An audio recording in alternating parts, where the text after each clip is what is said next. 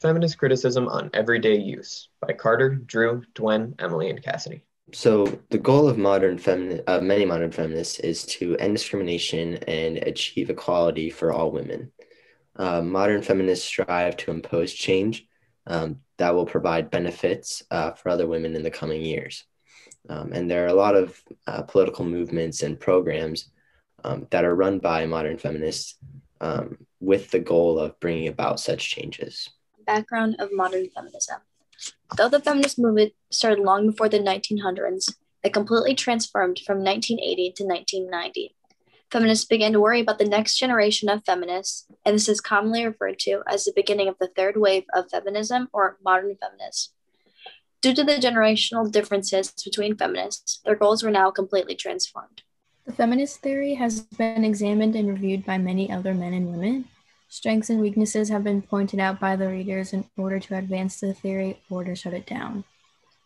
One strength of the theory is that feminists have had the same goal for decades, which was gaining rights and equality to men.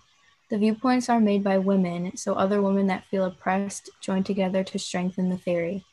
It exposes the dark side of women's lives, such as needing help to escape from domestic violence and abuse. Gender roles that are socially constructed are brought up also, which can help bring awareness to the larger issue. One of the main weaknesses of the theory is the perspective. The main points are created from a woman centered viewpoint.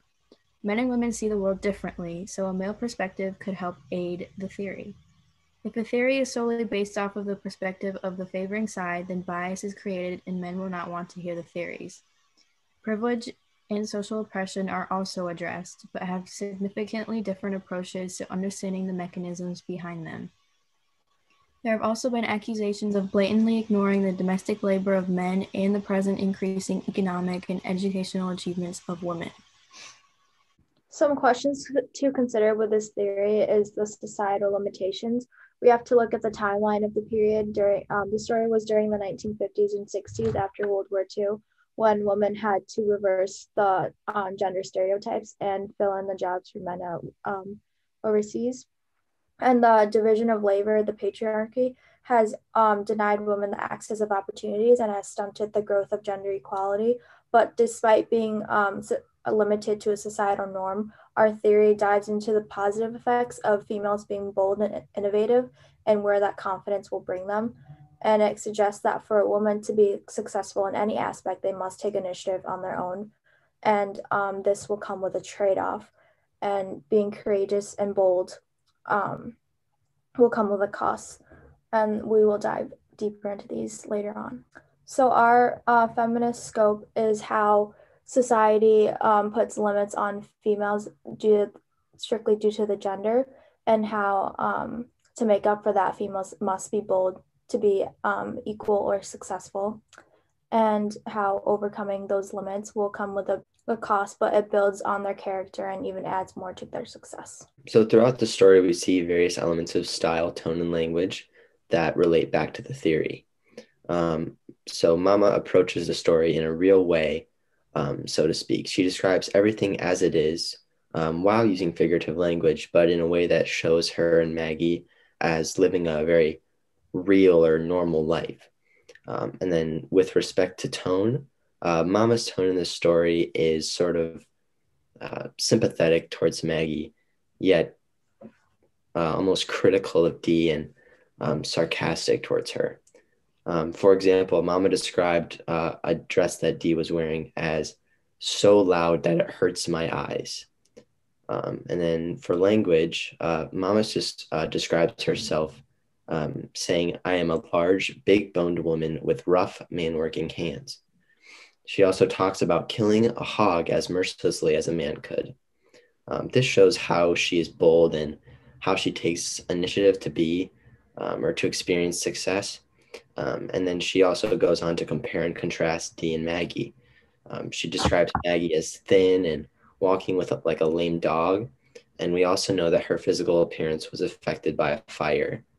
Um, additionally, Dee says that Maggie's brain is like an elephant. So these uh, descriptive elements uh, show how Maggie was viewed by others and how she lacked confidence. Um, Dee is also described by Mama as having nicer hair and a better figure than Maggie.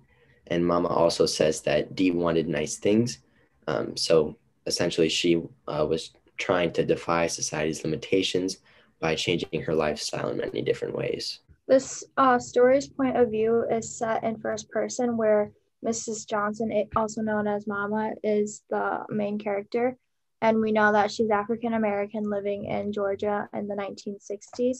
And this obviously has um, a big effect on how her perspective is. It's also mixed in with dialect at sometimes, and the reader is addressed directly at some points, so, but is primarily in first person and has a very conversationalist tone. But um, this reveals how Mama feels about herself and every other character, but it also has the potential to be biased just because it is her own opinion. And Mama is uh, depicted as a very sympathetic, caring, and likable person and Dee is kind of seen as a discord. She's very unattached and a little bit different from Mama, so they don't uh, necessarily connect. And Mama doesn't have uh, as great of a relationship with Dee as she does with Maggie. Maggie is portray- portrayed as a kind of a shy and insecure person, but they, her and Mama share some opinions on their heritage that are very different from Dee's. They are all successful in their own ways Mama kind of defies the stereotypes and is proud of her manly, manly features and abilities to reject the social norm of being a typical housewife in this era. She takes care of her kids and works at the same time, but she also does lack a deeper view of the world outside of her life, and that's why, why there's a contrast with her and Dee. And because this is in Mama's perspective in the story, um, Dee's confidence was portrayed to the reader as condescending, and here, Dee's cost was her relationship with her family and her loss of her heritage. And Maggie, in this case, she's um, portrayed as insecure, but she's seen as a figure of purity. It's kind of showing how she's working up to being successful and bold eventually in the future. So now we can discuss the allegories and myths surrounding feminism and the activists. Um, feminists are all about equality between genders. So the yard in everyday use represents a free space where they can express themselves and address all their problems. Um, the difference in opinions about the quilt in their culture support the theory that feminism can be present in everyone. The stereotypes, such as that feminists hate men and are unfeminine and they can only be women, are inaccurate and should be abandoned. It is previously mentioned that it is it is frequently discussed in the story that the characters counter the stereotypes of feminists. They are hardworking like men, but also have feminine traits as well. Characters and setting. The setting in everyday use takes place in rural Georgia during the 1960s, and the main characters are Dee, Mama, Maggie, and Dee's boyfriend. The short story begins with a mother, referred to as Mama, and her daughter Maggie awaiting for the arrival of the eldest sibling, Dee. Dee is described as having intelligence unlike her sibling mother, who Dee essentially almost deems as inferior due to this. She also looks down on them because they stay in a situation that society um, puts them in instead of going out and discovering their new life. Throughout this short story, it is evident that Dee embodies modern feminism. She goes so far as to now go by a new name and sheds her old life by doing so, highlighting the confidence it takes for modern feminism. The setting emphasizes how women in this time period still lack the same rights of men yet the feminist movement was still growing. So, when we consider the theme and plot of the story, the main themes are identity and heritage. And while um, a big part of this is definitely rural versus urban life, um, the ideas of feminine and masculine values and how they're portrayed play a big part in this story. While Mama has strong masculine traits, she still lives what would be considered a traditional feminine life, if you will. Whereas Dee's education was considered the more traditional masculine thing to do, yet she goes about herself, dresses um, very much like a woman, and lives her life out like a strong and independent woman, which is very powerful. Dee definitely inherits her strength from Mama, um, yet she believes she's more sophisticated and sort of rejects the ideas that she's grown up with.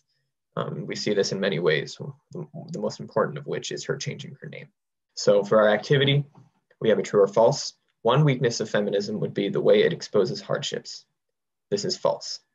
Question two, which societal limitation did not have an effect on women? A, time period, B, religion, C, stereotypes, or D, opportunities? The answer is B. religion. And that's our work cited. Thank you for watching.